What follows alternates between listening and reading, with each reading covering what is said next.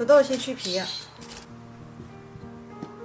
再切成厚薄均匀的土豆片，像这样就可以了。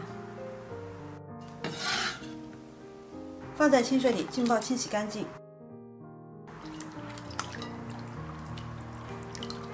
锅中烧开水，再把土豆片放进去，焯水一到两分钟。捞出来之后，过一下凉水。倒出来沥干水分。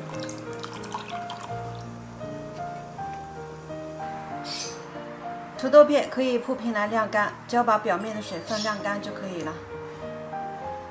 这样干的会快一点。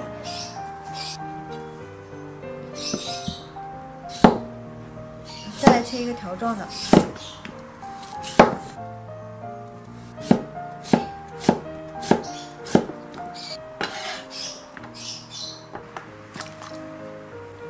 同样放在清水里，把表面的淀粉清洗干净。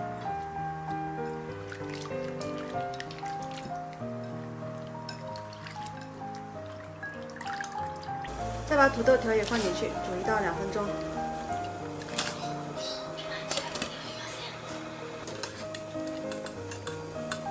土豆条直接捞出来沥干水分。土豆条晾干之后，倒在一个稍微大一点的盆里。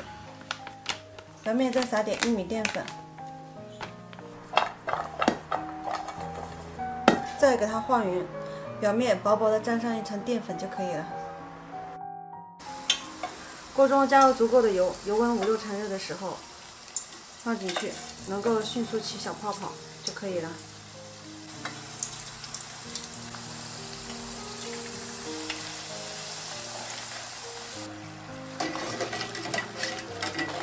开中小火慢慢炸，开始土豆会变软，接着会变脆，炸至这种微黄色就可以捞出来了。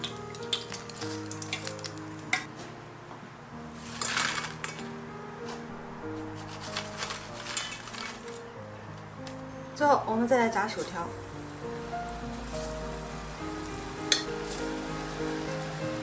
炸至这样，表面微微发黄就可以捞出来了。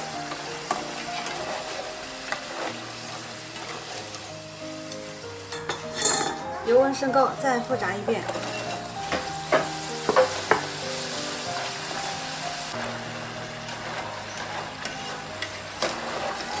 薯条变黄就可以捞出来了。